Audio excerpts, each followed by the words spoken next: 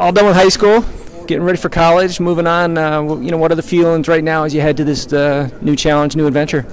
Yeah, um, it is kind of a weird feeling. Um, in a, I mean, it's the senior af- or the summer after your senior year, and um, you know everyone wants to kind of make the most of it, and um, it's been a lot of fun. I've you know had a lot of time to hang out with my friends, and, and training's been going great, and um, you know I, I leave the 27th of this month, and I think for a while I would say you know I'm leaving at the end of August, and it felt so far away. But you know, it's only a week away now, and um, then it's on to kind of the next the next chapter of, of my life. So um, yeah, I think it'll be fun. I'm I'm excited and.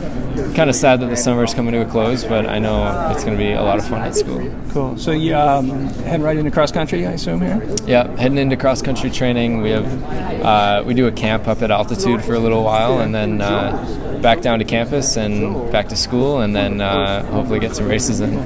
Yeah, we're going up to Mammoth. Yeah, yeah. So it'll be fun up there. I mean, apparently it's like 10,000 feet, so we'll see. Oh. We'll see how I fare at that. At that a little bit higher in elevation than Grand Blanc. Yeah, definitely.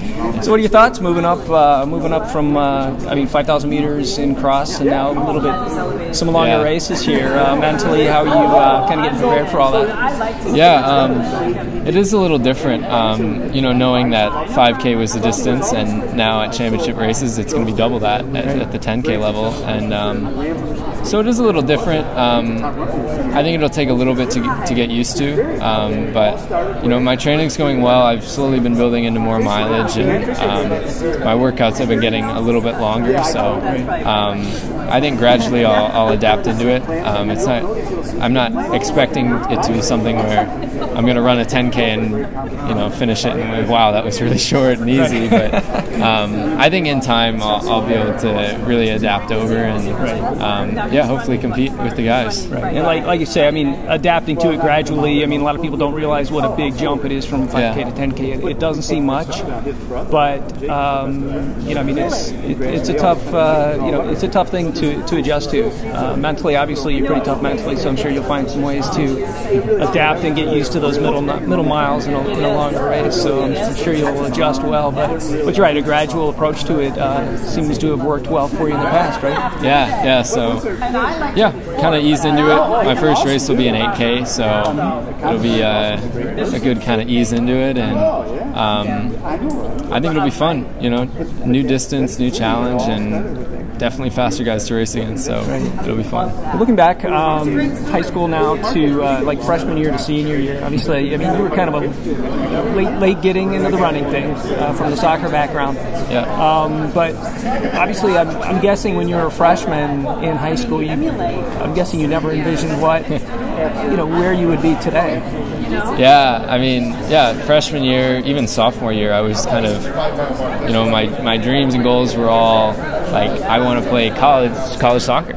And um, it wasn't until kind of the end of sophomore year and junior year where that kind of vision switched to, I still want to do a sport in college, but I'd like it to be running.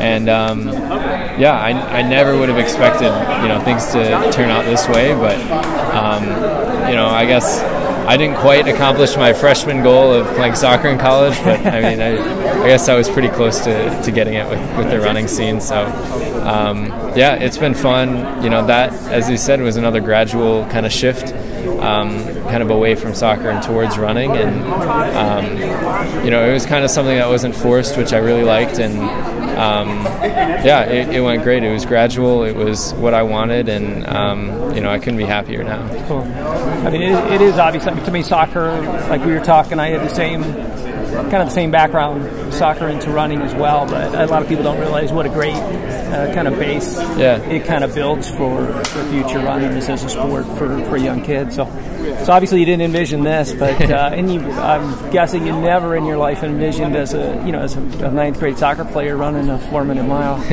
um, take us back to that race and kind of lap by lap and you know, obviously it went how you how you wanted, uh, you know, splits wise and things like that. But tell me your feelings during that race and obviously at the end.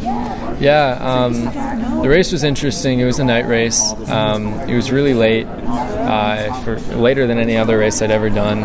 Um, you know, we were under the lights, and before the race, they were introducing everybody, and we would you know, we were down by maybe the um, the start of the, the home stretch, and then they would announce her name, and we would run up to the starting line, and um, I was fine up until that. Um, but then they started announcing names, and they called everybody. Then I was like the second to last one to get announced. I was pretty nervous by that point, and um, race went out great. Um, the splits were almost exactly what we wanted.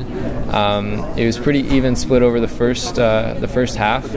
Um, the pace was we were hoping the pace would be a little bit faster at the start, but um, things picked up over the second half of the race, and um, I, I, tried to move up on the third lap and managed to get in a good position, and um, I got behind Jordan McNamara with maybe a lap to go, and uh, you know I was still feeling good, and I I felt like I could pass him, so I passed him, and I was like, "Oh man, like I'm going to beat Jordan." And um, obviously, it didn't end up happening, but um, I thought I, I was amazed that I could pick off, you know, such an elite runner, and then there were more people ahead of me, and I thought, you know, maybe I could get this guy and then the next guy, and I managed to pick more people off, and I think I was in second with 150 to go, and.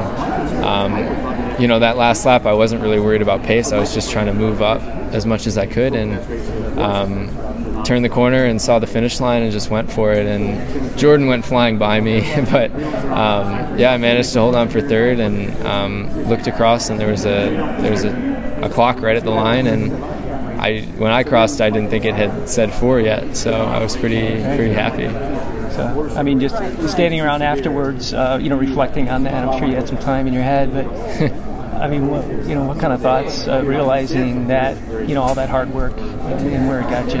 Yeah, it was pretty crazy. Um, after the race, you know, everyone, the crowd was uh, on the track. The crowd was up in, uh, I think, lane six, seven, and eight. The crowd was on the track, so um, it was really intimate. And when things got announced, everyone was going crazy, and um, I was pretty excited. I ran over to my coach, gave him a hug, and you know, they gave me this flag, and Jordan and I were running up and down with these flags, and um, it was pretty special. It was like you know, kind of. Uh, I mean, that's that's kind of the ultimate middle distance runner, you know, milestone. Um, so to, to get that in, in, in the manner that I did uh, was was pretty special to me. So um, yeah, looking back, that was an awesome moment.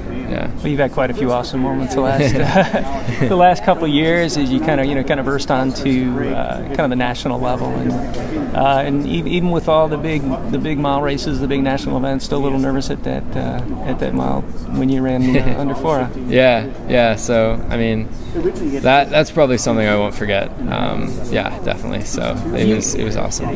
You definitely had a different path coming, you know, getting to where you are now. Looking back now, or what you know, for for younger runners, uh, now that you're an old, you know, you're an old guy at 18, but um, you know, for younger runners, uh, high school runners, you know, freshman, sophomore, kind of what, what, advice would you give them as far as how to progress and able to get to the, what they want, and, and, even racing as far as you know, in that kind of any, you know, any one little tip, yeah. whether mentally or physically. Um, you know, I wouldn't say the way I did it was was the best way for for everybody, but um, I think it worked for me, and um, kind of the gradual transition into the sport worked for me, and um, gradually increasing, increasing mileage and workouts, and um, you know there was never a time where I felt like I was overwhelmed with training. Um, I always felt like I was within myself, which was a good thing, and I think because of that, it kept me from getting injured uh, very often. And I think one of the most important parts to to running is being consistent, and an injury would kind of completely throw that out the window. So um, I've noticed that you know the guys that can string together the most days in a row are normally the best guys at the end of the season, and um, you know there's no rush to running 100 mile weeks or doing crazy workouts. Um, there's always time for that in, in and not future, necessarily yeah. all hard days in a row. Yeah, but, yeah. I mean, just the consistency of it. Yeah, I've, you know, as workouts got more difficult, I noticed that the recovery days were more and more crucial. Um, I guess early on, I kind of thought they were just throwaway days where, you know, you just people just don't do workouts back to back days, so you just have this throwaway easy run in between. But I realized that you know unless you take the easy runs you know easy and correctly, then um, your workouts aren't gonna uh, like matriculate the way you want them to be, and you know you're gonna fall apart. So Cool. yeah, Well, we can you can tell you're 18. You're using big words like matriculate. now.